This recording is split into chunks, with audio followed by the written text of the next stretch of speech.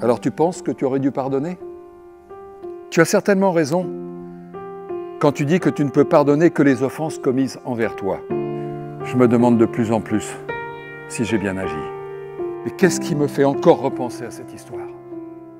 L'homme est une question de persévérance.